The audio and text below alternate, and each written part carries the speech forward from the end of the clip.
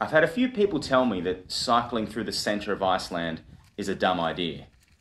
It was at this stage that I began to see their point. So, how did we get here? I've been bikepacking and bike touring for a few years now. Nothing too serious. My gear is cheap and I rarely train. In the world of adventure cycling, there is a route I think that reigns supreme the Iceland Divide. Not only is the terrain like nothing else, but it scores a 9 out of 10 difficulty on bikepacking.com. So if you somehow manage to finish it, you get some serious bragging rights. I knew there was no chance I could finish this alone. Fortunately, I had two school friends as mad as me. Enter Jamie and Jason. Jamie studied advanced maths in Germany and quickly got to work calculating the best route possible. Instead of the original 500 kilometre divide, Jamie had cooked up a 1000 kilometre odyssey, east to west, north to south. Jason was also a formidable cyclist. He never breaks a sweat, even up the steepest of climbs. Maybe that's due to him being the only one who actually trains, but who knows. We also had a last minute wildcard entry Jens Christian Christensen, Despite being Danish, I wouldn't say his cycling ability parallels that of Vingegaard.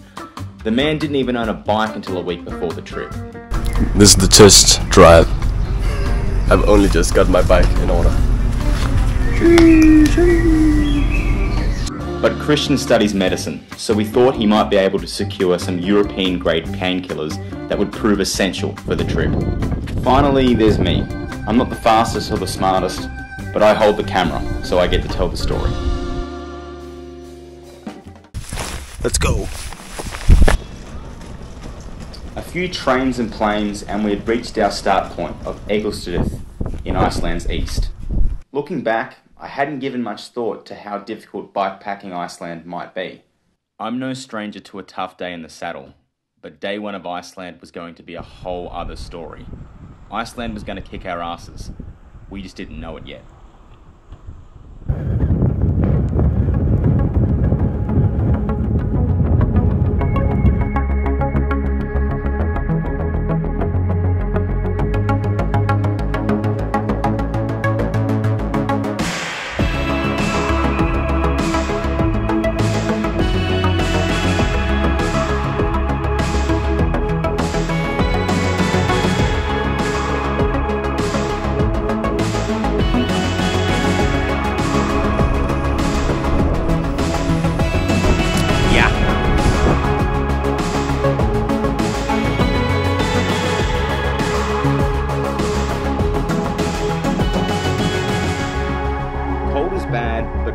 Worse. We had plenty of both. Our only saviour was this lovely lady from Frankfurt who pulled over with tea in hand to help a couple of poor cyclists. Progress had been slow due to the infamous Icelandic headwind. You join us at 63 kilometres with 30 kilometres to go. Hurting, but optimistic. Beyond a tough day, this man's face. Like it's freezing. Like it's just cold. It's wet tough. It's tough. But nothing uh, a big hot chocolate and uh, rum won't fix. Cut to hot chocolate and rum. Unfortunately, we would not be cutting to hot chocolate and rum. Instead, our route had us diverting from the main road, going 30 kilometres into the Icelandic desert, where things went from bad to worse. Literally frozen to the bone. Beyond cold. So wet.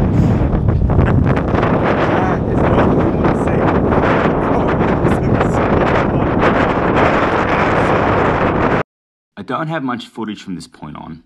My hands and feet were completely numb, and because of the extreme weather, none of us could even afford to stop for more than a few moments.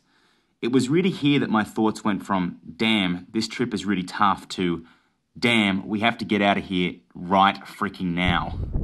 We might be able to see Christian going through there. Man's resorted to pushing. I'm guessing we've got about 15k, something like that to go. Here's Jamie. You can't, you have no idea. I can't even begin to describe to you, but there's snow up there. We've ridden all day, we're so wet, it's like two, three, four, five degrees, something like that. Soaked to the bone. I can't even feel anything anymore. I don't care. I don't know if I should be worried about that, but ah, this is it. Why you do it? We did end up making that campsite. In hindsight, we should have just had better gear. Rain pants and dishwashing gloves are a must in Iceland. Don't be like me and only pack shorts. Still, I don't think all the gear in the world would have made it easy. When the weather goes bad in Iceland, you are just best to stay inside. Foolishly, we had other ideas. Which is different. Feet are frozen, but give you a look at this. There isn't really much to say about day two. The entire section was really just a 100 kilometre grind on the ring road. It rained a little less, but honestly, that makes little difference when everything you own is already wet. We had lunch at the only structure we saw during the entire day. What can I say? It's not always glamorous. Anyway, I won't dwell on it. Let's get to the exciting stuff instead. Day three. That's the weather. It's basically been like this the whole time. Actually, it's been worse than this, to be honest. This is good. This is actually sunny. I- I'm guessing four, four. Oh, look, we can see that. Yeah. I'm guessing four to six degrees, something like that. Feels like zero. Feels like zero. It's cold as fuck. We're all trudging along. 100k. Mate, Jamie's chewing at the bit. He's angry. He's angry. he can't wait to get there. All right. Oh, this ramen tonight's gonna be. Mate. Uh, Jason led the pack off as per usual, with Jamie pulling off some serious manoeuvres just to keep in the draft. Have a go at this. Fucking crazy. We left the ring road and its heavy but courteous traffic behind. After a bit of liquid motivation, we reached the top and met this Japanese chap. If you're hesitating to take a trip due to a lack of gear, have a go at this. Just spectacular. Anyway, we were at the top, so fire up your best royalty free music because here comes the descent.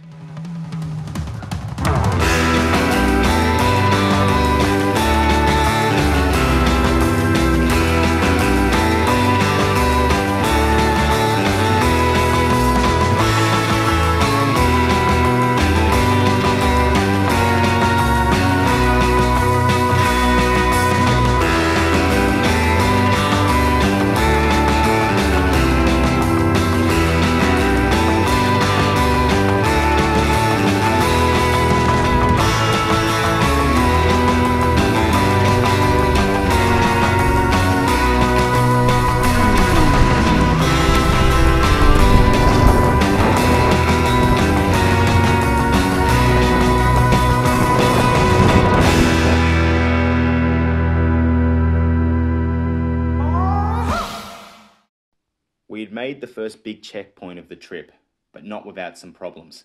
Jamie's knee had completely blown out. Christian was performing dental surgery on himself. Really, the only man who was going strong was Jason. It's comical to think now that we had planned for this to be the easy part of the trip. We had just one day to pull ourselves together before we entered the Icelandic interior.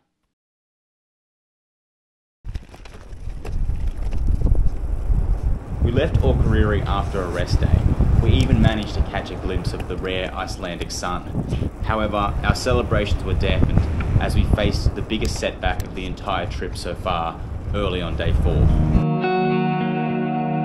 After cycling through Kyrgyzstan with no problems, Jamie had unexpectedly faced injury.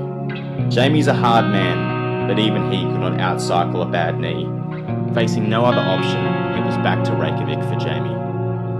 Losing him was a huge blow to morale, as we'd lost the member of the group with the most intimate knowledge of the route. We said our goodbyes, we told the map man that we would do him proud, and even overlay some sad music over his departure.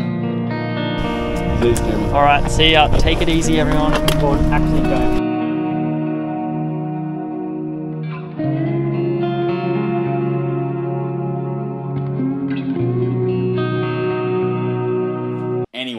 still had 100 kilometres to cycle, so let's just get on with it.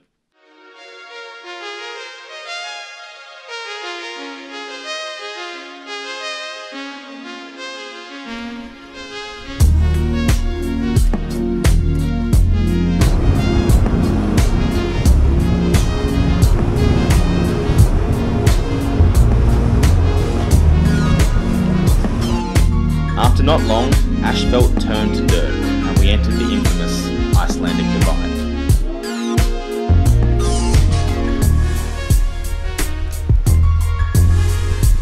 three days of bikepacking will show you it can be a horrendous hobby. But when you get a day with a tailwind and a road with no traffic, it's just magic.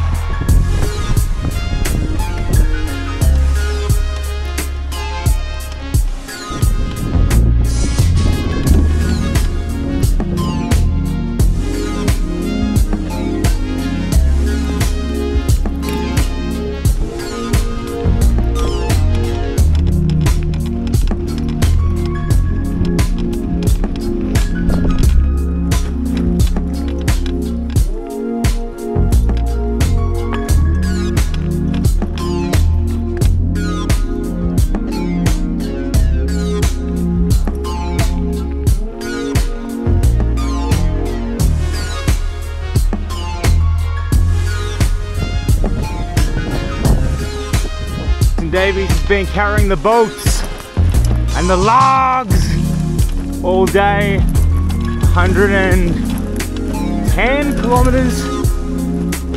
Finishing up on pretty hard terrain. Maybe about 2.5 k's away from a couple of rums. You love to see it.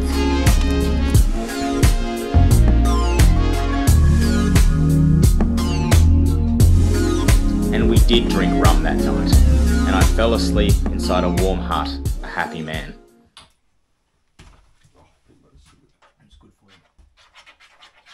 It was a late start for us on day five. Perhaps it was the liquor from the previous night, or a growing overconfidence with the terrain. Iceland was about to yet again punish us, presenting us with a new type of obstacle, a lava field. The terrain following Botany Hut was both difficult to ride and hard to navigate. There isn't a path per se, but just a general direction you should head. We were making a snail's pace, and I was worried that if this continued, we wouldn't reach the finish line. Conditions improved, but we quickly realised we would not make our intended destination, and instead had to opt for an earlier hut. By taking that earlier hut, we were now officially behind schedule. We were in the middle of Iceland, down our map man, facing unknown conditions and deteriorating weather. It's fair to say anxieties were high. We knew we had to make the next section of the trip count to keep the adventure alive.